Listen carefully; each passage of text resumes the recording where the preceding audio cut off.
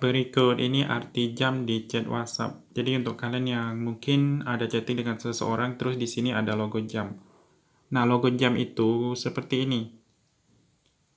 Yang namanya pesan sementaranya aktif. Jadi kalau ada pesan sementara aktif, bisa kalian ada logo jam di sini. Apa arti pesan sementara?